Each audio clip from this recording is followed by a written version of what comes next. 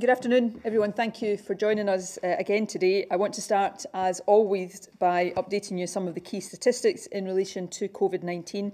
As at 9 o'clock this morning, there have been 14,117 positive cases confirmed, which is an increase of 188 since yesterday.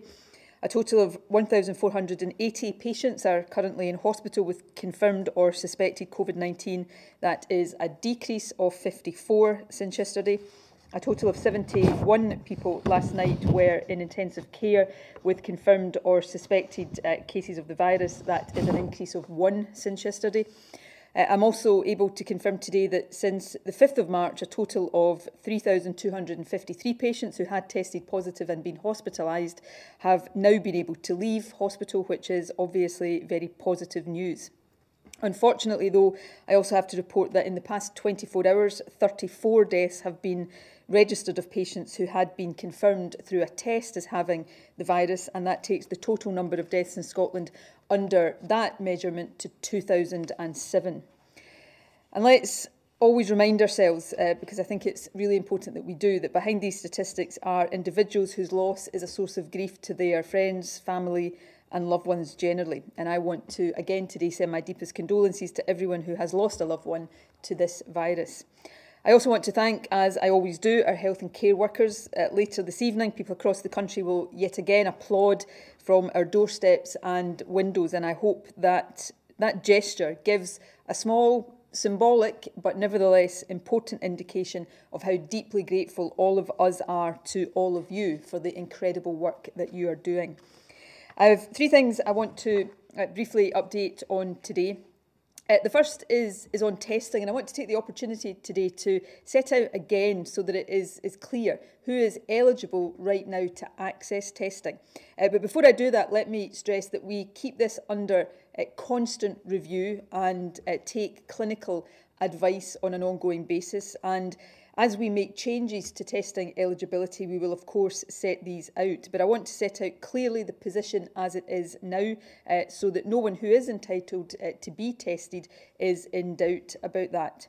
Uh, NHS Scotland testing capacity is currently used within hospitals for all intensive care patients, uh, all patients in hospital who have symptoms of the virus and all those who are admitted to hospital who are over the age of 70 whether they have symptoms of the virus or not. Uh, people who are over 70 will be tested every four days during their stay in hospital. And the reason for that, of course, as we see in the statistics that we publish every day, older people are particularly hard hit by this illness. NHS tests are also given to all patients due to enter or re-enter a care home from hospital and if they have previously tested positive for the virus they must have two negative tests before entering the care home from hospital. In addition, we are implementing now what is called enhanced outbreak investigation in all care homes where there are any cases of COVID. And this involves testing, subject of course to individuals' consent, uh, all residents and staff, whether or not they have symptoms of the virus. NHS testing is also available for all NHS and social care key workers or symptomatic household members of those workers. And this testing should be accessible to care and health service staff within their local area and should not require them to drive or, or travel long distances. Care home managers can put symptomatic staff forward for testing, and let me stress there should be no barriers uh, to that whatsoever.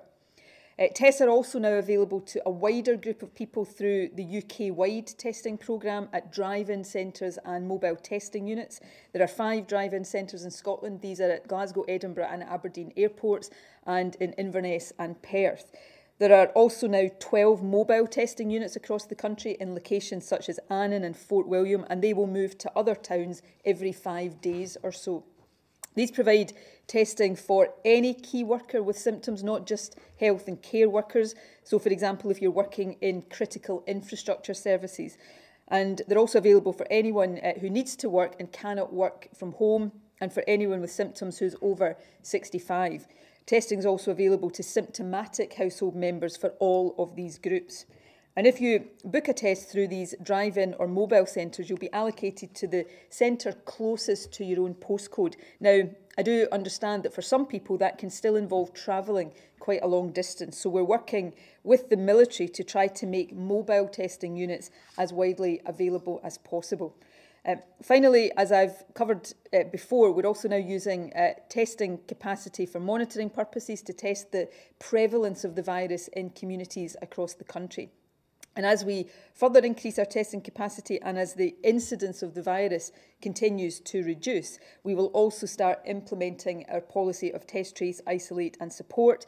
Uh, that will be crucial to uh, controlling further outbreaks of the virus as we start to emerge from lockdown and we will be updating on progress with that uh, very shortly. However, at this stage, our testing policy continues to be based on three key priorities saving lives uh, and protecting the vulnerable, uh, ensuring that critical staff can return to work as soon as possible, and lastly, monitoring and reporting on the spread and prevalence of the virus. The continuing expansion of testing is enabling us to do that more effectively while also building our capacity to test, trace and isolate. The second item I want to update you on relates to support for people who are shielding. Uh, and let me remind you that that term shielding refers to, in Scotland, approximately 175,000 people who are at the highest clinical risk from COVID-19 and who have therefore been asked to stay at home at all times. People who are shielding can ask for support and receive information through a text messaging service. And if you've not re yet registered for the service, but you are in that shielding group, I would encourage you to do so. Uh, one of the services that you can request by text is free weekly delivery of food and other vital provisions such as toiletries. These deliveries are also available to people without a mobile phone and I'll read out in a few uh, moments the free phone number which will be useful for you if you are in that position. More than 50,000 people who are shielding have so far signed up for this free delivery service. And let me stress, it is free uh, delivery of food. And uh, so far, more than a quarter of a million of these free food packages have been delivered to people across the country. In addition, many supermarkets are making priority delivery slots available for people in the shielding category. Uh, I know uh, for some of you, as you enter your seventh or eighth week now of shielding, you will be feeling incredible levels of frustration. And I think it's really important for all of us to recognise that this crisis is in so many ways much harder for you even than it is for those living with the standard restrictions that are in place right now for all of us. And so it's really important to me that you know support is available to you and that support will be available for as long as it is needed. Uh, please ask for that support if you need it uh, whether it's food and medication or indeed anything else. Just because you haven't uh, needed it up until now and you may not have registered for that service doesn't mean you cannot ask for it at any time. Uh, I also want you to know, and this is also really important to me that you do know this, that you're not being forgotten about as we think about our next steps in tackling this virus and about how we adapt to living with a new normal uh, where this virus will be present for a long time your needs and your quality of life remain really important uh, to our decision making process and really important to our thinking.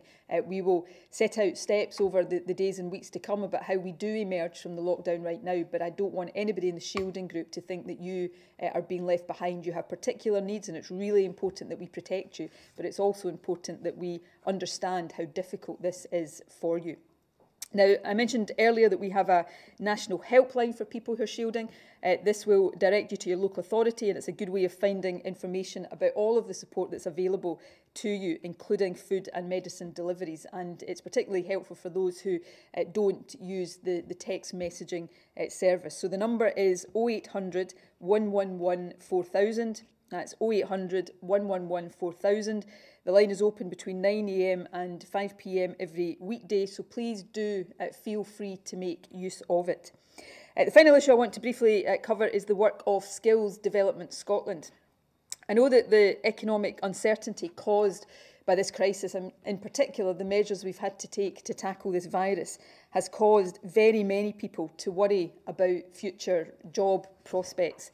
Although um, it can't currently offer face-to-face -face support for obvious reasons, Skills Development Scotland has still been providing help to people throughout the crisis. For example, its website, My World of Work, provides information on online learning courses, on jobs that are immediately available, and on practical skills such as updating or developing your CV. Uh, yesterday, Skills Development Scotland expanded its support further by launching a phone line and online service. And again, I'm going to read out the phone line number uh, in a couple of moments. The phone line and web resources will provide people with access to a range of services that SDS has available and also services that are provided by local councils. So this will help individuals who are thinking about future job and career options For example, if you're currently on furlough, if you've been made redundant and are seeking employment, or if you're a school pupil or the parent or carer who's thinking right now about what you might want to do after school. An advertising campaign was launched yesterday to support this enhanced service. So if you think you might benefit from the advice being offered, uh, either go on to the Skills Development Scotland website, which is myworldofwork.co.uk, or phone the helpline, which is 0800 917 8000. 0800 917 8000. Uh, I want to conclude today before I hand over to the Health Secretary uh, simply by emphasising once again our key public health uh, guidance uh, because it is still important. The stay at home message in Scotland is the one that we want everybody still to hear at this stage. Uh, and that is please stay at home except for essential purposes. Uh, and that could be essential work that you can't do from home, uh, going out for exercise, or to pick up food and medicine. Uh, you can, of course, now exercise more than once a day, but when you do leave the house, stay more than two metres away from other people and don't meet up with people from households other than your own. Please wear a face covering if you can, uh, if you're in a shop or in public transport, and don't forget to wash your hands thoroughly and regularly. And finally, if you have symptoms of the virus or if somebody in your household has symptoms, then you should stay at home completely. You should not even go out for the essential purposes that I've mentioned. Uh, this is, as I say every day, and every day I say it, it becomes more and more true. This is really difficult, and it does get more difficult with every day that passes. But right now, it is still necessary, and it is making a difference. By staying at home, we are continuing to slow down the spread of the virus and reduce the number of new cases of it that we are seeing every day. Uh, we're protecting the National Health Service as the numbers on hospital admissions and ICU uh, demonstrate. And notwithstanding these really horrible, grim figures I still read out to you every day, we are undoubtedly saving lives.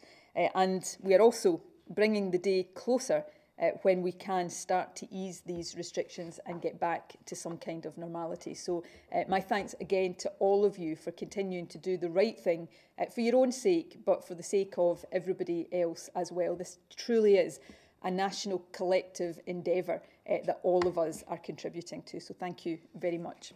Uh, I'm now going to hand over to the Health Secretary, who will say a few words, and then uh, she and I and the Chief Medical Officer will take questions. Thank you very much, First Minister. I wanted to briefly address today's media reports surrounding Home Farm Independent Care Home in Portree. Uh, I know this is of significant interest to the local community and to the wider public. Our thoughts remain with the residents, families and staff affected by COVID-19, not just at Home Farm in Skye, but also in all residential care settings. The Care Inspectorate carried out an unannounced inspection of Home Farm on Tuesday of this week. Following that inspection, NHS Highland has agreed with HC-One, the owner of that care home, to provide enhanced assistance by deploying additional NHS resources, including social care management, nursing leadership and direct care. This additional support has come into, eff into effect immediately with the aim of improving and sustaining the right quality of care for the residents. I remain directly engaged with the developments at Home Farm to ensure that we continue to act as necessary for the well-being of residents and staff. The Care Inspectorate have not yet published their inspection report, so it is not appropriate for me to comment any further on the details of the case at this point. However, I can say that I and the Scottish Government strongly support action to ensure that all care homes provide a safe home for their residents. We have in Scotland a robust inspection regime for our care sector. That is why the Health Board and HC-One have been able to agree these interim arrangements very quickly following the inspection on Tuesday. I will continue to keep you updated uh, as appropriate on this issue, which I know is of great importance to all of us. And the final uh, point related to care homes that I want to make at this stage is to advise you that updated COVID-19 national clinical and practice guidance on care homes has been revised and that that revision, uh, which ensures clarity, for example, on testing requirements for admission to care homes and for those homes uh, with an active COVID-19 case, that that updated guidance will be published by tomorrow, the 15th of May. Thanks very much, Health Secretary. And I'll move straight to questions now. First, uh, Peter McMahon from ITV Border. Uh, thank you. Uh, thank you, First Minister. Uh, First Minister, um, the national records for Scotland figures uh, for the south of Scotland show lower death rates per head for Dumfries and Galloway and for the Scottish borders, which is obviously very good news for people down there. There's also been a briefing today from NHS Dumfries and Galloway that puts an R number for Dumfries and Galloway at 0.75 compared to, that was on the 8th of May, compared to a higher number for Scotland as a whole. Um, if you argue that Scotland should be able to follow its own course, is there not a strong case for parts of Scotland being able to follow their own course? That would mean, for example, hospitals in the south of Scotland going back to some routine operations and possibly even easing restrictions there before the rest of Scotland. Um, as you'll recall from uh, being a, a, regular attender at this uh, daily briefing, I've never ruled out um, regional variations if, if both the evidence backs up that kind of approach and we, we judge that they can be implemented in a practical and, and under, clearly understandable uh, way. Uh, so we don't, we don't rule that out, although we are not at this stage uh, proposing that kind of uh, regionally uh, varied approach within Scotland. Uh, Um, one of the things that there's also uh, some of you on this call will have uh, taken part in a, a technical briefing with the, the Scottish Government's chief statistician this morning about how the R number is calculated. And I, I suspect that one of the points that will have been made there is that when I talk about the, the range of the R number, I, I often talk about the, the confidence intervals in that and the uncertainties. And uh, I, I suspect one of the points that will be made at that briefing is that the more you try to regionalise that, the more uncertainty uh, you will have. Because one of the key uh, ingredients in calculating the, the R number is, is numbers of deaths. And as you get down to uh, smaller geographic uh, areas, uh, with lower numbers of deaths and perhaps even relatively lower numbers of deaths, that just makes the, the certainty of an R number uh, even more uh, difficult to be uh, sure about. Uh, in terms of the, the R number, and we may uh, come on to this a little bit, the R number is really important and some of the steps were taken. So lockdown has brought R down. Um, some of the steps we're taking now to get it down further are the steps we're taking in care homes and hospitals. Of course, compliance with lockdown is still really important to keep it uh, down. But the relationship between R and the incidence of the virus, the number of new cases we see every day, is, is what is of crucial importance because if we have a low incidence, then in short, we can perhaps cope with a slightly higher R number, although it still needs to be below one, uh, than we could if we had a high incidence. The problem now across Scotland is that we still have an R number and an incidence that are too high for us to uh, meaningfully at this stage ease up on lockdown. But that is something obviously that is under ongoing uh, monitoring and we, we will monitor that at a Scotland-wide basis.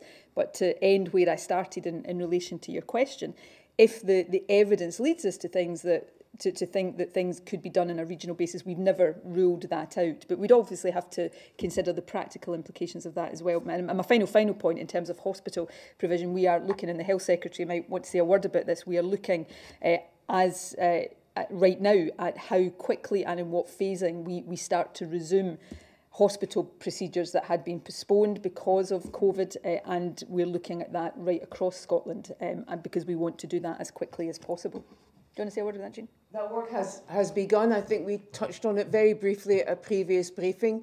Uh, so all our boards are now actively engaged in looking at uh, what are the areas of healthcare that we've paused right across the healthcare system, so from primary care through outpatients to care that requires hospitalisation that could uh, be restarted, that has already been paused. That does incorporate our screening programmes too.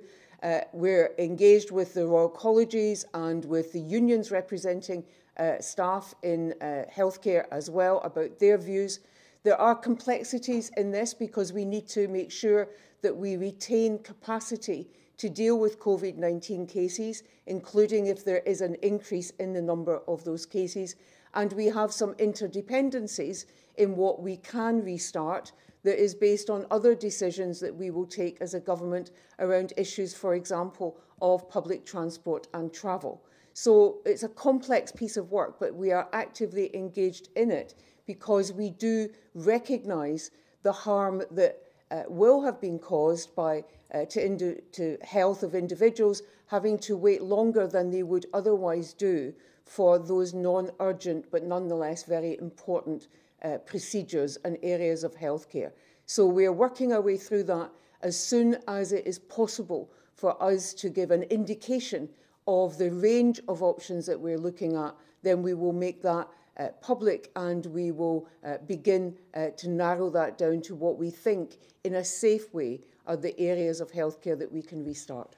I think Gregor wants to say a quick word as well before we move on to the next question. Thank you, I, I really just wanted to, to kind of say this. This I get very uneasy when I hear um, R numbers being asserted with confidence around a, a single point. Just just now in the in the message I, I want to get across um, really clearly to your colleagues and, and, and, and to others is, is that when, when we hear an R number, which is a single point in time, which is asserted with that degree of confidence, we, we should treat it with caution um, because it's the range of R numbers that we should be, be um, kind of be concentrating on at this precise moment in time, but particularly in this instance when it's on a small geographical area like this, because the degree of confidence with which we can say that that number is correct is, is, is, really, is really rather low.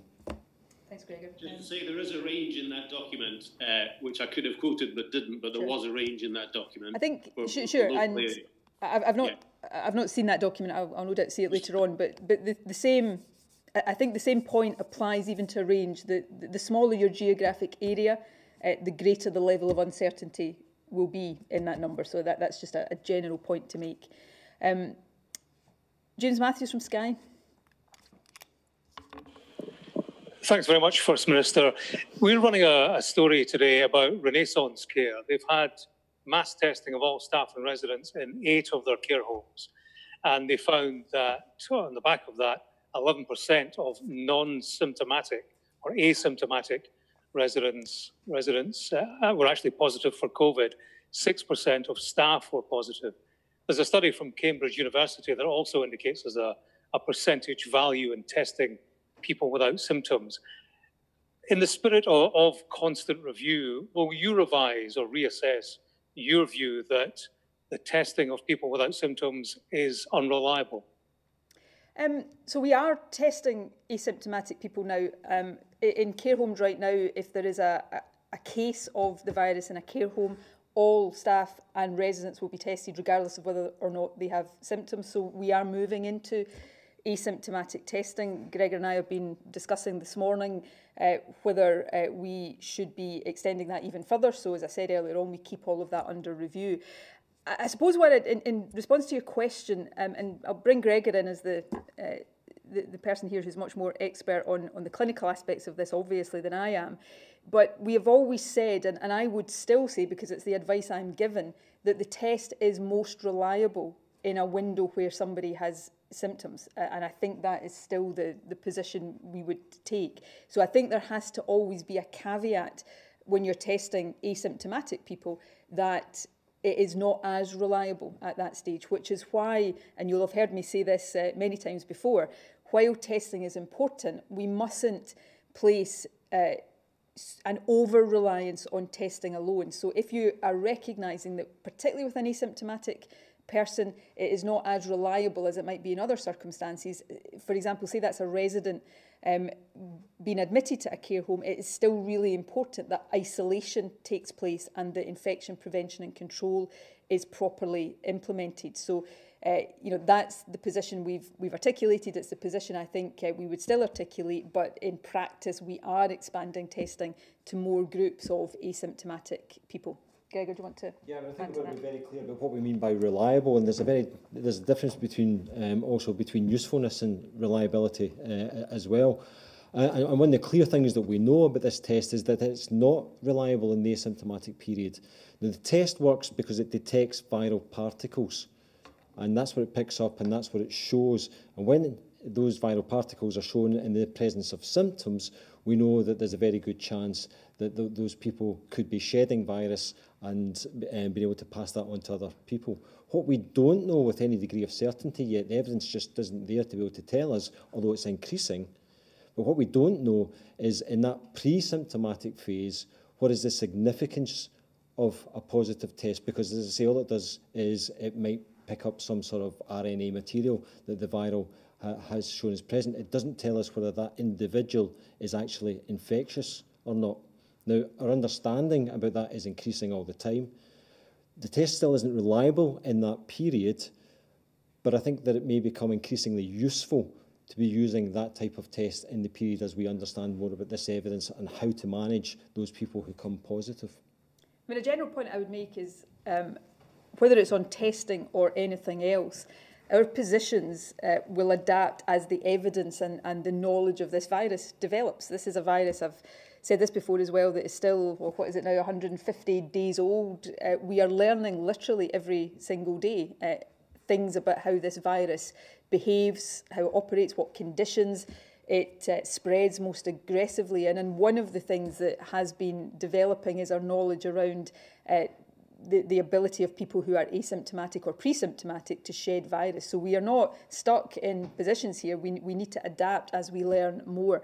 Um, so yes, we are uh, testing more asymptomatic people. I suspect that will extend even further, but I think it's really important that we are frank about the, the uh, relative reliability of the test in these uh, different circumstances. Of course, the other news today around testing is an, on antibody testing, which uh, is, is positive news that there is a, a test that has uh, achieved uh, a high degree of reliability. But again, that is not the whole story because we still don't know uh, what the what the implications of somebody having an antibody response to this virus is. Doesn't mean you've got immunity? And if it does mean you've got immunity how long does that immunity last? So we are learning all of the time which is why we have to remain as flexible as possible in how we we tackle this.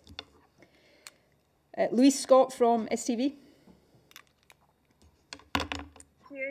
Um, just a, a, couple of questions on the home farm care home that the Health Secretary um, mentioned earlier. We're just wondering whether these changes that have been implemented are they short-term or long-term changes, and can you offer any further update on the longer-term prospects for the care home and its residents?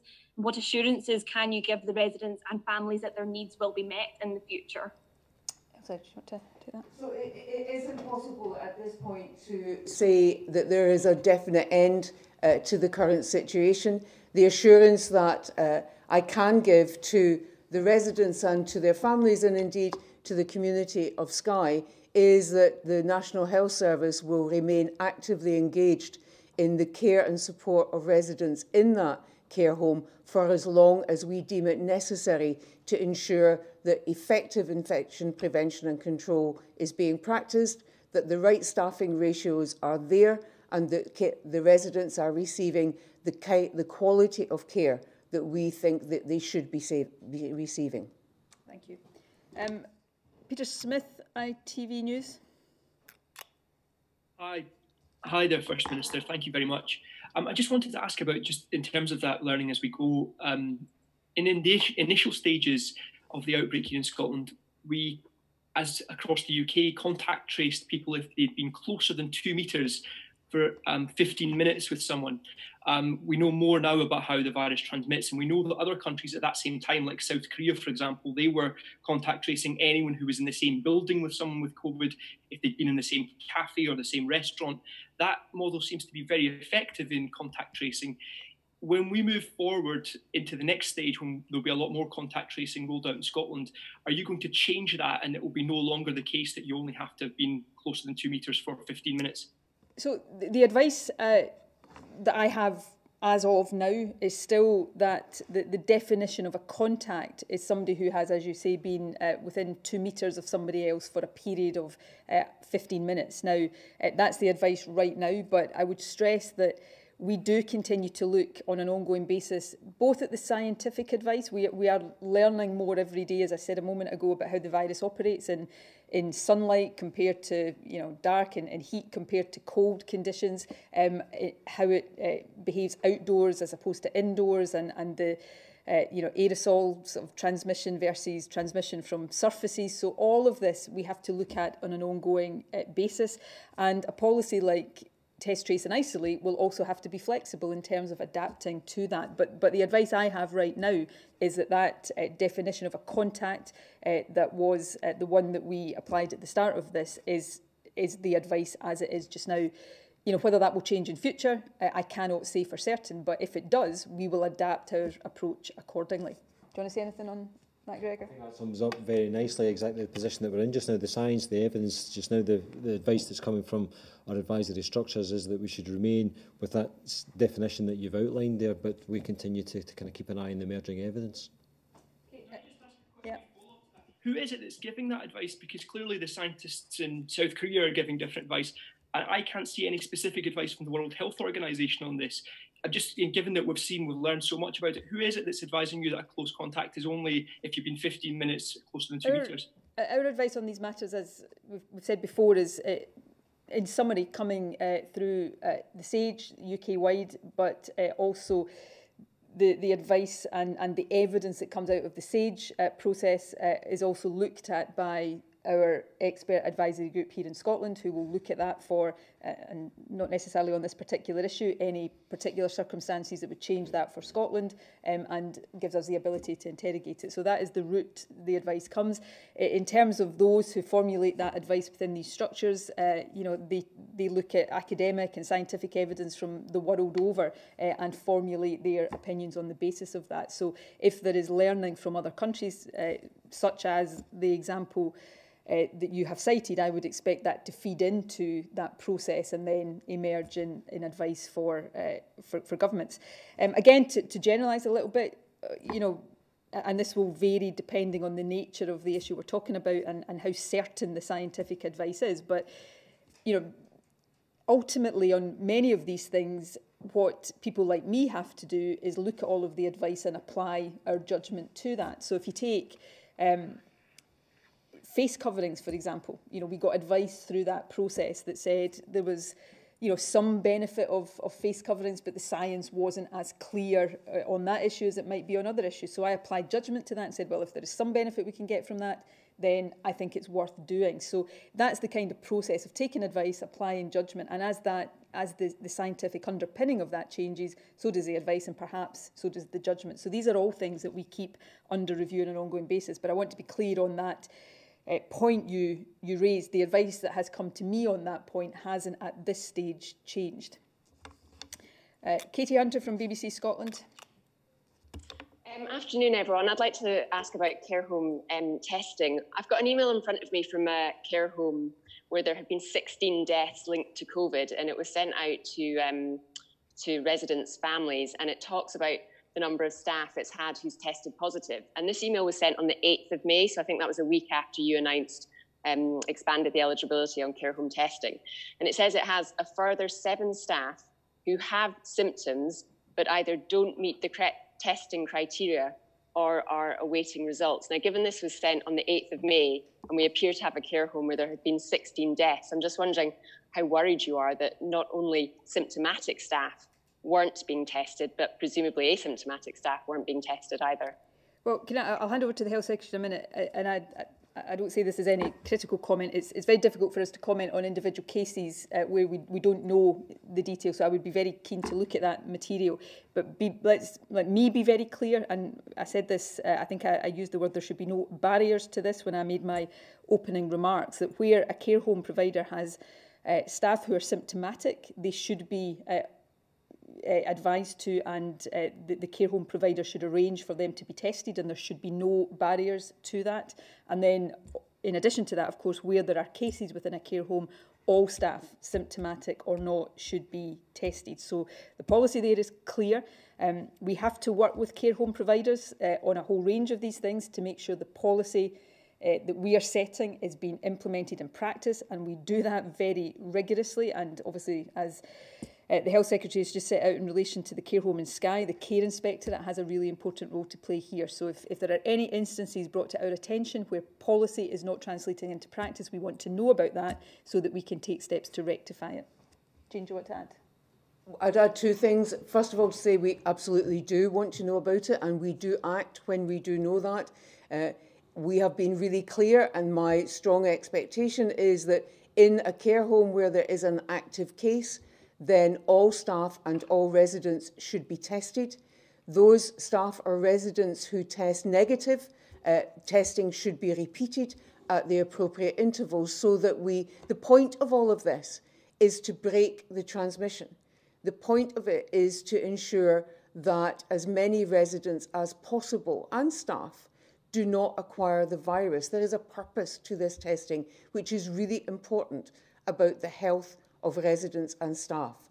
So it really does matter that all care home providers understand very clearly what our expectation is, that our NHS stands ready to actively help and support them and is already doing that in various ways across the country and is ready and prepared to do more. So the cooperation that we require in this area is really critical. And where there are instances where staff are being encouraged not to be tested, or there are examples such as the one we've just been given, I really do want to know about those as quickly as possible so that I can ensure that we act in that instance and redress the situation. Um, just to clarify that um, I did send, I have sent the details to the Scottish Government um, a couple of days ago. I, I, don't expect they come across your desk, but if you okay. somebody does have the details of this okay, specific instance somewhere. That, that is very helpful. Thank you. And thank you for doing that because um, I was going to repeat my plea to the media generally. I'm not for a second suggesting that these stories shouldn't be reported. Of course they should. It's a really important part of, of the whole process we're, we're going through right now. But if, if you are hearing from care homes, individuals, anybody of things that don't seem right, then also let us know because it's really important that we get on top of that. But if you have already done that, then um, that's very helpful and, and I, I would certainly hope that that has already uh, been acted upon. Um, Lindsay Hannah from Bauer. Thanks, First Minister. Um, our listeners at Radio Clyde would like to know what's being advised to taxi and private hire drivers to make their vehicles safe for them to use. Today, we've heard from the chair of United's private hire drivers, and he says he's asked Glasgow City Council to allow them to install protective screens in their cars. But Glasgow City Council's told us they've now written to the Scottish Government to seek clarification on how licensed hire vehicles should operate right now.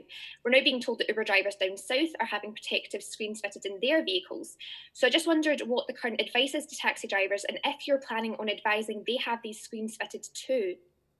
Um, I will uh, ask for uh, the relevant uh, part of the Scottish Government to make immediate contact with taxi drivers to give whatever advice they need now. As I said, I think a couple of days ago, we are uh, across a whole range of different sectors looking at what we need to do to secure safe workplaces. Now, obviously for a lot of people that is offices or, or factories uh, or schools or, or hospitals, but for many people, as you rightly say, that will be in cars and, and very small places. So we will uh, make contact. Obviously, the uh, licensing authorities for taxis are local authorities, uh, but the Scottish Government's responsibility here is to make sure that people have the advice and the guidance that they need. So we will make contact uh, with uh, those representing taxi drivers um, and uh, provide further information to you as well uh, when we've had the opportunity to do that. Uh, Tom Eden from PA. Thank you, First Minister. Um, you'll no doubt be aware of the story in the Courier today about a fifth of all coronavirus tests in Scotland being unaccounted for.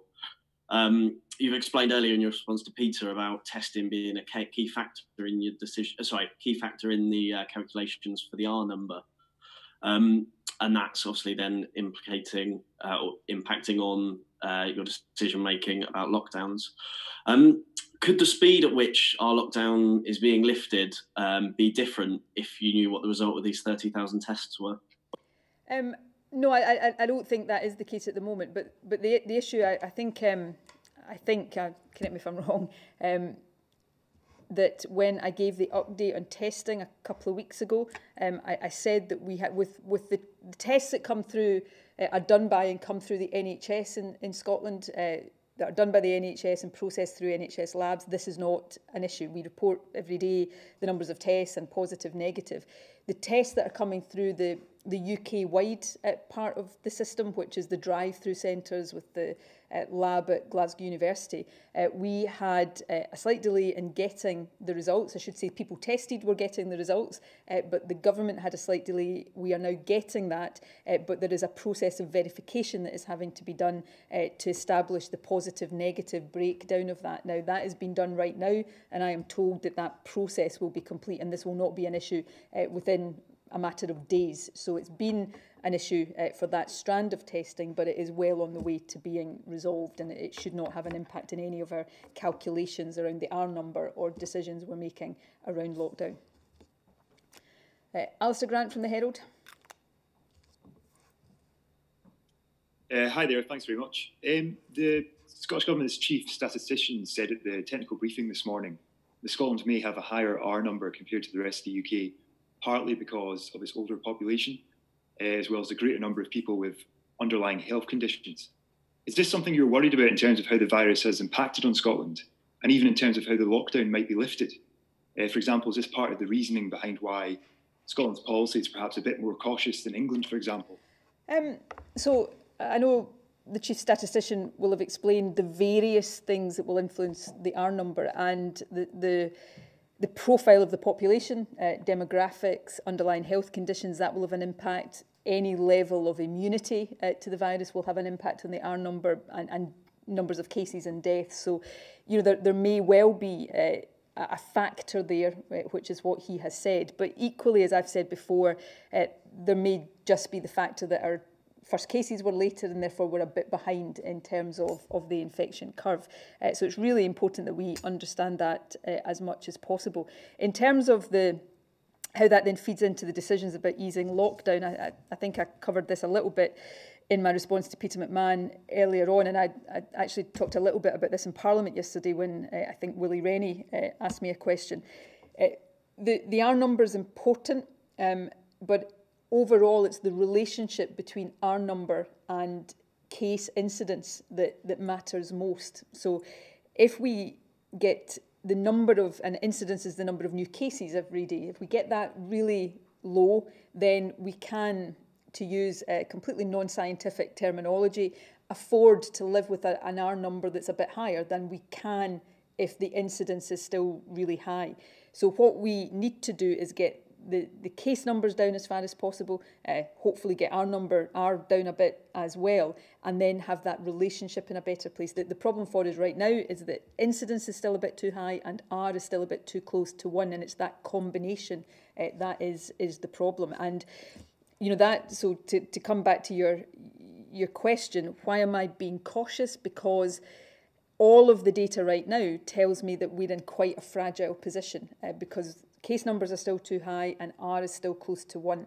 You could live with the latter if you didn't have the former, but we've got both right, or you could more live with the latter if you didn't have the former, but we've got both right now. We need to get that into a more stable and a more secure position before we do anything meaningful in terms of, of lifting restrictions. And, you know, ultimately, you know, these uh, these are judgments that are very, very much informed by the science and the science that I've just uh, unexpertly uh, explained there. But ultimately, as I, said a moment ago, we have to make those judgments, and I have to, and the government has to make those judgments. And given the uncertainties around this that all governments are dealing with, if if we err at all, I want that to be in the side of caution, so that the, the price we pay for getting it slightly wrong is that we all live with lockdown for a bit longer, rather than the price we pay being people unnecessarily dying, um, because not having people dying is what I think should drive all of our decisions here. And that's why, as I say, I make no apology for it. At the moment, I, I would rather be a bit cautious in the interests of saving as many lives as possible.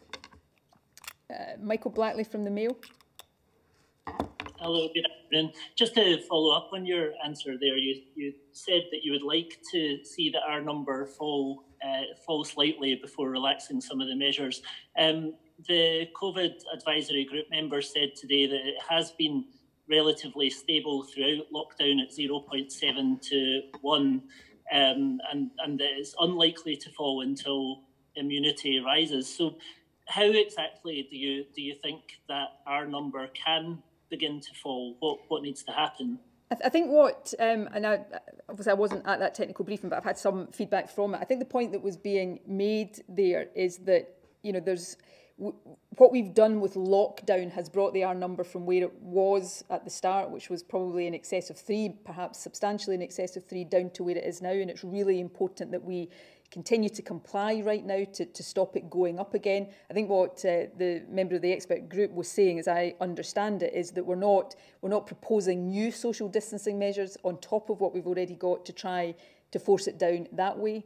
But other things we are doing right now is very much about trying to get it down further, and that is particularly the steps we're taking in care homes, steps we're taking to try to stop infection uh, transmitting within hospitals, uh, continued compliance with lockdown, and increasingly the, the uh, test, trace and isolate support that will help us to get it down a bit more as well. But I, I imagine the overall point that was made by uh, the member of the expert group and the chief statistician is the one I've just made, that R is really important, but it can't be seen in isolation. It is that relationship between the R number and the incidence of cases that is most important. If you look at uh, Germany right now, um, Germany has, since it started to ease restrictions, seen some fluctuation in its R number.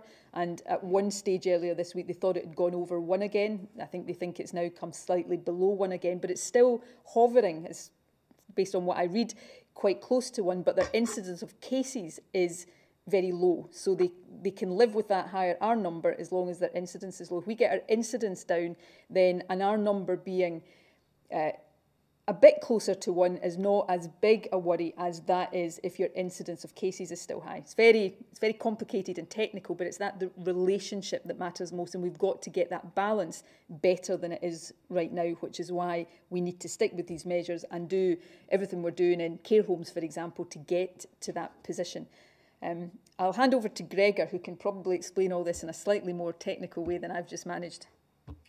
So, so I think anything that, that you know, there's still things that we can do that will influence R just now, and, and the first minister has already outlined some of those in terms of how we make sure that the the various places where we're currently seeing this virus transmitting are, are, are brought under uh, control, whether that be within the community, whether that be in the hospitals, whether that be in other institutions like like care homes. So, so, so gaining uh, a greater degree of control there will help to influence the R number. But really importantly, what it will also do is it will drive down this new incidence number, the incidence rate uh, for the virus as well. And that will all influence uh, where we are uh, as well.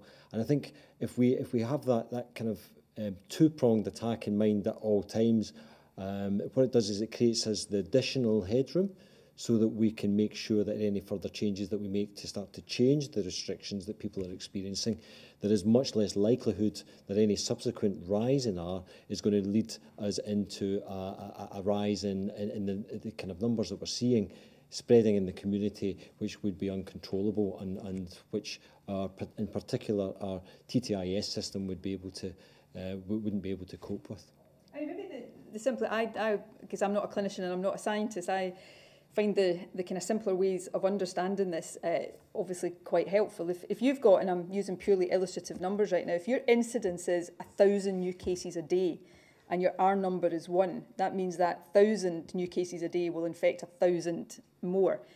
But if your incidence is 10 cases a day and your R number is one, then those 10 will just infect uh, 10 more. So so the numbers of people becoming infected with an R number of one is, is much fewer at the lower incidence than at the higher incidence. So R is really, really important, and the lower you get it below one, the better. But that crucial relationship with where you get your incidence of cases is what, what really matters. And as Gregor said, as we go forward, how we will keep incidence suppressed, uh, we hope, is through test, trace and isolate. And although we're building, you know, quite a substantial capacity to do that, we have to be sure that that capacity, just as we don't want our NHS capacity to be overwhelmed, that we don't overwhelm TTI capacity. So the, keeping that incidence low is, is really important and the relationship between the two is important. So as I say, it's very technical, um, but hopefully uh, that allows people just to understand uh, what it is we're trying to achieve. Andy Nicholl from The Sun.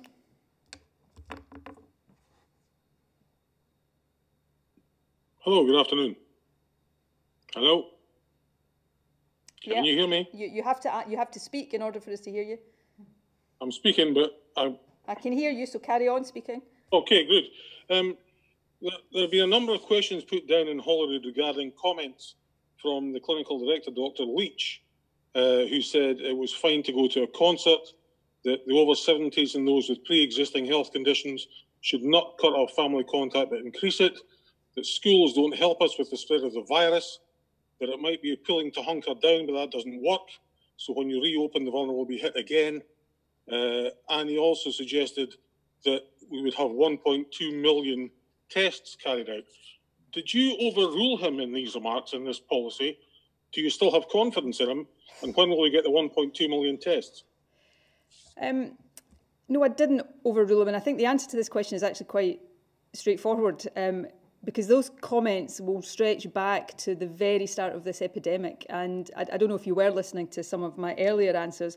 We have learned almost every day new things about this virus and we've adapted our response accordingly and, and things that we might have thought earlier on we now uh, don't think because the evidence and the science around this virus which is still you know as I say around 150 or something like that days old it, would be I think a really irresponsible government that simply for the sake of uh, not allowing uh, the media or the politicians to uh, use the traditional, ah, but you said this before, to kind of stick with what you said when the science was saying one thing and not move on when it's saying something else. So, yes, I do have confidence in Jason Leach. I think uh, most people watching will probably think he's done an absolutely sterling job in explaining some of this in a really understandable way uh, for the population. And anybody who thinks right now, uh, media or politician that this is some kind of game of gotcha. Uh, we're, we're all learning as we go and we're trying to adapt our responses as we go. And on testing, um, we're, we're building up our testing capacity uh, all the time. We, uh, I guess the 1.2 million depends over what period of time you're talking about, but we are, uh, we've gone from having a capacity to do 350 tests a day to right now having a capacity that's in excess of 10,000 a day and it is continuing to grow um, and it will continue to grow as we go into uh, test, trace and isolate. Uh, Sev Carrell from The Guardian.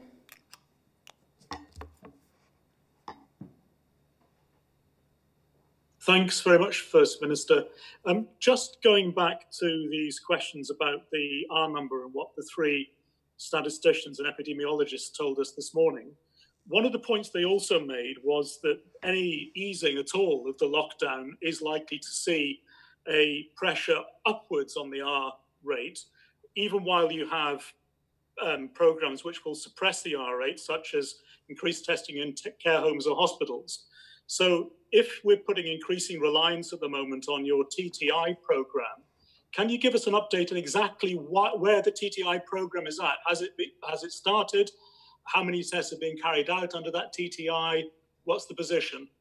Um, so, uh, on the first part of uh, your question, uh, that is right, uh, and I, I think I said this when I when we published our uh, second paper going through our decision making here. When you start to ease these lockdowns, say say you open schools, for example, um, the impact that will have on the R number is pretty much the same whenever you do it. Uh, but what is important is that when you do it, your incidence of cases is lower, so that so that the the increase in R is operating on on a lower baseline. So you're you're effectively wanting as much headroom when you start to ease restrictions as possible, so that it doesn't run out of control again. And when you get incidence down and start to do that, TTI is part. It's not the only thing you do to keep it down continued social distancing uh, of some form will be important for a long time to come. But TTI becomes a really important part of the approach you take.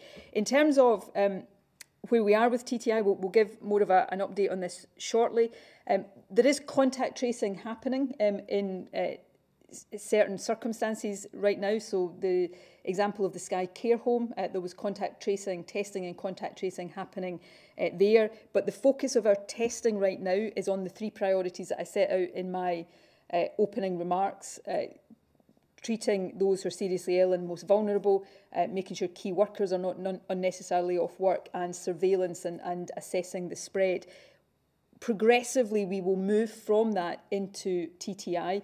Uh, we will have capacity in place through testing, contact tracing and support for isolation uh, by the end of this month that will allow us to make a shift into that. But I would caution against, as I've said before, uh, thinking of this as one day we have no TTI capacity and the next day we have the full capacity, we will scale this up and we may have to continue to scale it up as we move on. But in terms of where we are, in terms of uh, the, the, the build up of that capacity, we'll set out more progress on that in uh, fairly short order. Scott Macnab from the Scotsman. Uh, uh, thank you. Uh, First Minister, the latest figures have been published today by the government on um, business um, support grants. Mm. It's prompted some concerns from the Federation of Small Businesses about um, the, the, slowing rate of this money being distributed to smaller businesses. Um, I think 59,000 have received grants so far, but they reckon a backlog of maybe around um, 20,000. And just over half of the 1.2 billion that's been earmarked for businesses has so far been distributed. So, uh, given that this was seen as lifeline support for businesses during lockdown, are you concerned about potential backlogs in the administration of this? Uh, local authorities are uh, processing these applications and are working really hard and doing a really good job. All of this money will get to the businesses who are eligible for it, and it's really important that happens as quickly as possible and be working with local authorities to make sure that it is happening as quickly as is feasible. Um, your figures are, are broadly right. There's so far 679 million pounds being paid out to uh, 59,000 uh, businesses. There's a total number of applications of 78,000. So uh, the, the 59,000 of those have received money, but this will be a moving uh, picture literally every single day as more of these applications are processed. And yes, local authorities are trying to get through that as quickly as possible uh, because it matters to businesses. I know not just that they get the money, but they get the money in a uh, a short as short a time scale as possible. So I know local authorities are continuing to work uh, to get through all of these applications as speedily as they can. Uh, Kieran Andrews from the Times. Thanks, First Minister. Um, Andrew Wilson has written for the Times today that large government bonds should be issued to industries and sectors that will need investment coming out of the pandemic, universities being the most obvious example. In exchange, those sectors would have to then carry out large scale reforms. Is this the kind of economic policy that you are considering for, you know, after the the virus has passed largely, and have there been any conversations with the Treasury about this and how it may work? Um, conversations with Treasury are ongoing on a whole range of things. Um, we have made clear, and uh, you know, I think other organisations, uh, I'll be corrected if I'm wrong on this, but Fraser of Allander uh, Institute have, have made the point previously that the current fiscal powers of the Scottish Parliament are probably not sufficient to deal with uh, the, the reality now and into the future of, of this crisis. So we want to have uh, constructive discussions about how we, we change uh, those powers in order to, to better equip us.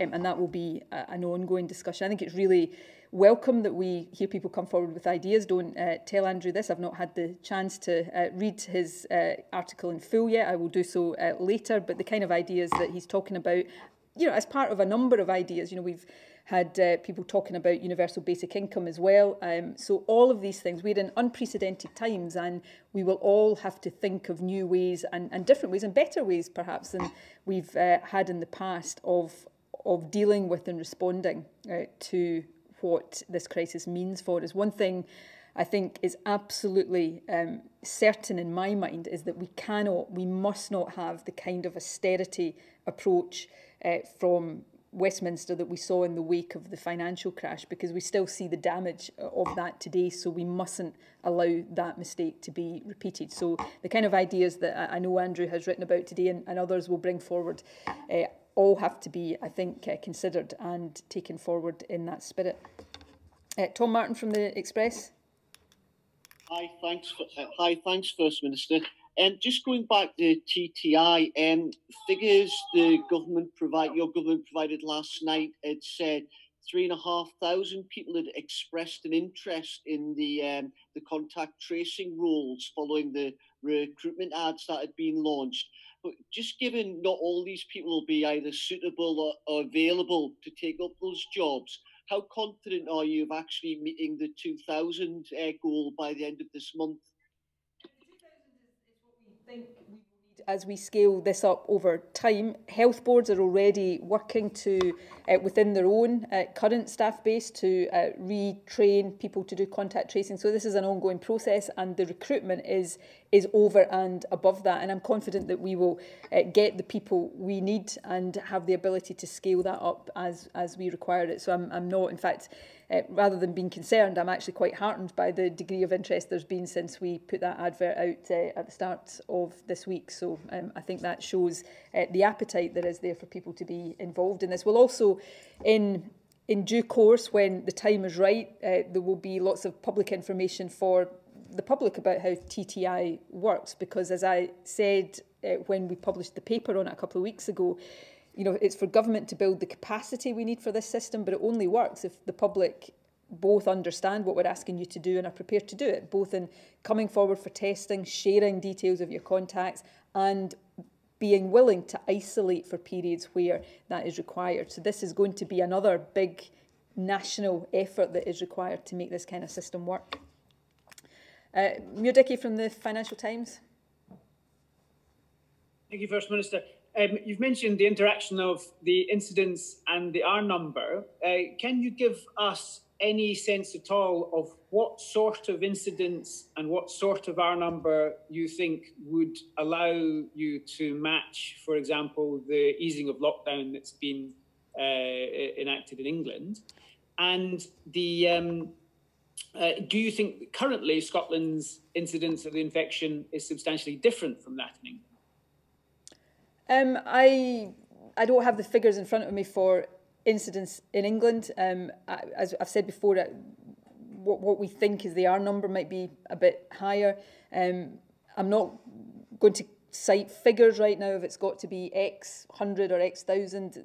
Experts will continue to advise me in the days ahead of where they think uh, those are getting to and the balance between them and the relationship. And I'll be, you know, as, as I get that advice, I'll be open uh, with, with the public about that. But right now, the, the fragility of the, the situation says to me that further caution is required. I would, I would remind people, and I, again, I, I hope people will take uh, me in, in good faith here when I'm not making a political point here. I think all governments have to make their own judgment, but you know, there has been some commentary um, about Scotland departing from the position in England uh, or, or departing from the four nations approach. Actually, three of the four nations in the UK, England, uh, sorry, Scotland, Wales and Northern Ireland are pretty much sticking with the stay-at-home message right now. England, and this is where I'm not criticising, it's for the government there to decide what is right, has decided to move a little bit quicker. So we'll continue to judge these things uh, carefully. I will continue to uh, take the advice that experts give me, but ultimately I will have to apply my judgment to that. There will be risks whenever we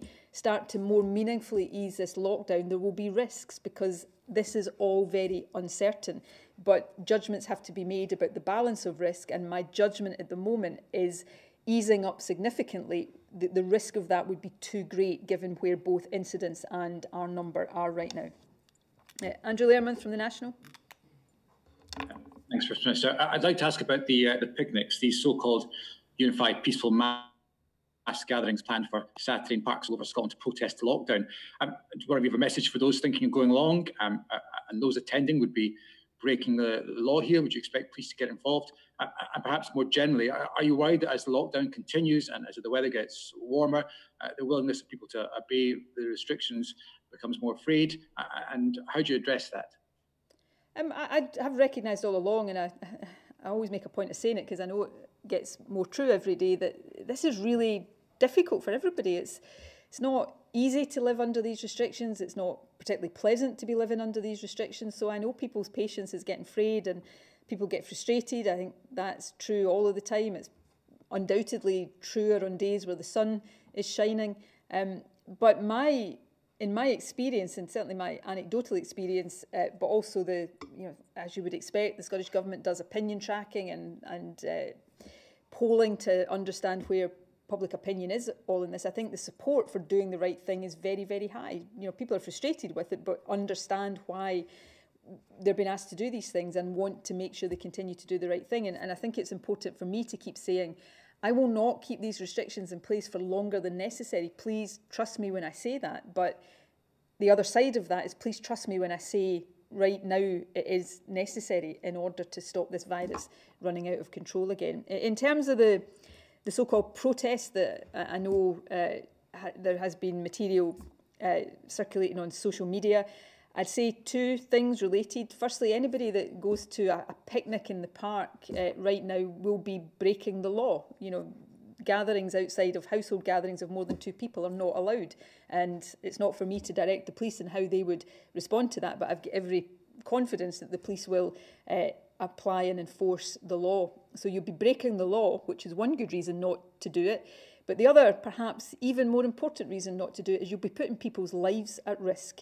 Um, so if anybody out there watching this is even remotely tempted to, you know, sort of go to some uh, illegal gathering in a park this weekend because you're fed up with lockdown, what I'd say to you is I understand you're fed up with lockdown. We're all fed up with it, but we're having to do it for the right reasons. And if you do that, then it is not an exaggeration to say you could be putting people's lives at risk. So please, don't do it. You know, we're all in this for the same reason, to stop people dying unnecessarily. So don't be that person that uh, goes and knowingly puts somebody's life on the line. It's not worth it, so please don't do it.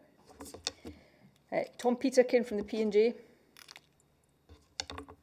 Um, good afternoon. Um, going back to the home farm care home on Skye, I, I appreciate that the findings of the Care Commission are, are not public yet, but can you give some indication of how concerned you have been by what you've heard about the running of the care home? And I, I know the health secretary uh, did mention something on this, but is it, can you give a, a, breakdown on how many people are involved in terms of being brought into the care home? Look, I am going to hand over to the health secretary, and uh, she'll she, she won't necessarily be able to give all that information right now. But take it from the steps that are being taken. Uh, that that should be an indication that there is real concern there and we want to make sure that everything has been done to give the assurance that people would want. All I would add to that is, um, as the First Minister said, in terms of, of how seriously we take it, having diverted, as we are right to do, uh, significant NHS resources uh, to ensure that the care home is uh, running with a, a rota of staff to residents that it should have, that proper infection prevention and control is in place, and that care is also in place uh, for the residents there. That's, a, I think, a clear indication that we take it very seriously indeed. In terms of the absolute numbers, uh, I don't have those. Uh, what is the case is that we are um, making up shortfalls in the staffing rota, providing uh, clear uh, nursing and clinical guidance uh, in, a in a practical sense on the ground as well as ensuring that there is overall the leadership there that is required to deliver uh, all those results that I have said about the quality of the residents' experience and the care. Uh, that will be uh, people from our NHS working alongside staff who already work in that care home because we know that in that care home, as in many others, the staff who work there are very committed to doing the right thing. So we have supplemented that and uh, we will continue to do that for as long as we think it is required. Thank you. Uh, Simon Johnson from The Telegraph. Um, the Scottish Government has issued a statement this morning saying that it became aware of all 25 cases at the Nike conference in Edinburgh by the 9th of March. Um, I just wanted some clarification about how those cases were classified within the um, daily reports that the Scottish Government issues on um, case numbers. Um, the health secretary said the other day that the first Scottish case was was ca categorised in Ayrshire or Grampian, which I assume was the place of residence of that individual, and I assume that would be applied to the to the eight Scottish cases. But I wasn't sure how the other cases, the non-Scottish cases, the the rest of the RUK and the foreign cases would have been classified. Would they would, would those figures have come out under Lothian, or would they have not have been included because the people involved were not resident in Scotland? It would have. If, if what I'm about to say here is not strictly accurate, we'll come back and correct it, but it, it would depend on where they, they were confirmed. If, if they were confirmed in Scotland, they would appear in the Scottish cases, uh, but if they were confirmed um, back in their own country, they would be reported through the figures in, in that country. Um, and, you know, all of the normal protocols uh, here were, were followed. Uh, as I said the other day, patient confidentiality was, was a real issue and, and presumably an issue for all countries uh, in terms of, of reporting cases. And, and just to, to kind of illustrate that, there was, I think, in total 10 people from Scotland at this conference. I think 70 or so overall, but only 10 of them were Scottish. So if we, uh, when, as we did, you know, think it was even on the 3rd of March, we uh, got notice of the first case. It was reported through our figures on the 4th of March. So, you know, all of these cases were reported. But as we said, you know, patient from uh, patient X from Health Board Y has been confirmed as having the virus. Had we gone on to say where they got the virus, we would have been identifying that person probably because in all likelihood there was only going to be one person in the whole of that health board area who was at the event. So when you're dealing with such small numbers, patient confidentiality is really important. But all of the cases confirmed in Scotland were reported through our normal reporting procedures and that would have been you know given the detail of the health board uh, that they were in but if cases were confirmed not in Scotland, they would uh, go through their own country's reporting process. Uh, there have been some cases where that were contracted in Edinburgh at this conference that were not uh, basically included in the figures, and therefore the public were not aware of at all. Um, look, I, I want to double check the detail of your answer before I, I, I give you an answer uh, because it's important that it is accurately. But if, if the per person had left Scotland before they were confirmed as having the virus, then that would go through their uh, normal uh, countries reporting, uh, which would be the normal way that, that these things work with any infection outbreak or, or any virus, not just this one. Vivienne Aitken from the Daily Record. Afternoon, First Minister. Um, I was almost at also at the briefing this morning, and your expert said at that time that before lockdown, the R number was actually about between four and six, which was much higher than, than we've been told previously. Um, but said very quickly it got down, as we've heard already today, to between 0.7 and 1. However, they've said that at no point would it get any lower than that because everything that had, could be done within the community had been done.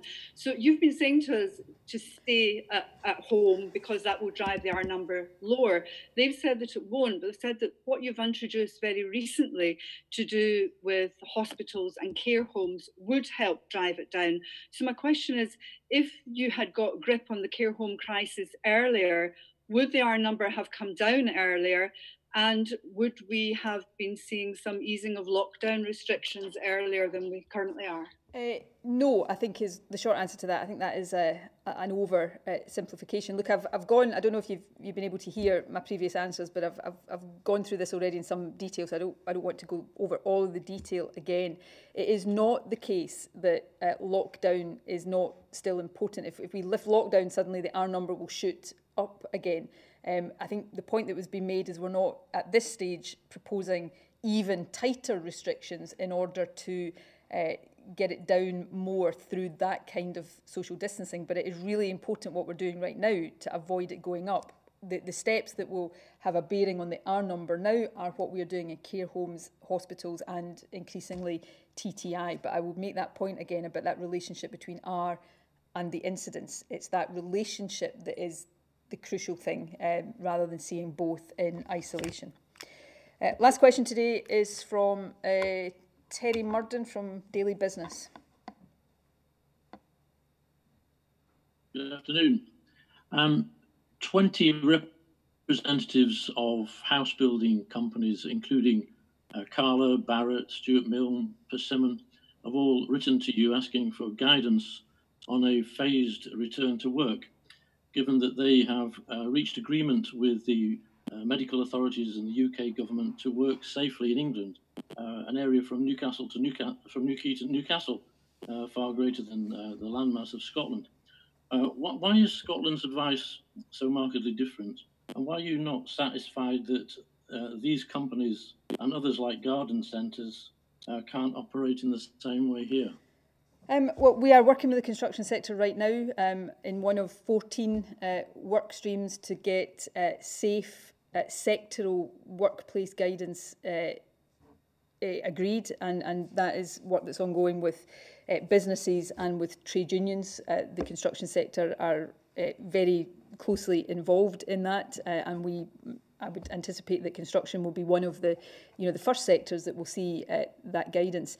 Uh, but we're doing that with all uh, sectors of, of the economy. Why why am I not doing certain things that have been done in England? Because my judgment is that it's not safe to do them yet. And ultimately, my responsibility as First Minister is to the people of Scotland to make uh, the best judgments I can to keep the population safe. I, you know, do not question the right of the UK government to take different decisions uh, that they think uh, can be done safely. But my judgment is that we have to be very cautious right now in order that this virus doesn't run out of control. Uh, and at the weekend, when I announced the change uh, to lift the limit on uh, exercise so that is no longer just once a day.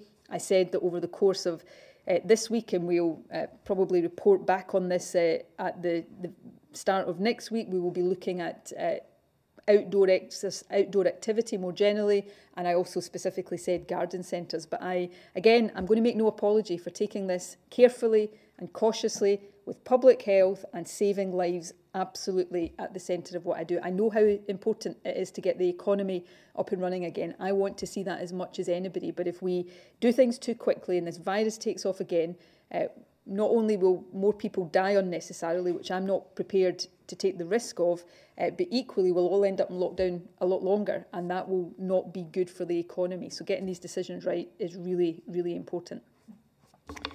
Right, that uh, concludes today's questions. Thank you all very much uh, for joining us today and for staying with us. Thank you to the journalists. Thanks to Jeane and Gregor and Anna, our sign language interpreter. Uh, thank you to all of you for uh, continuing to comply with this guidance.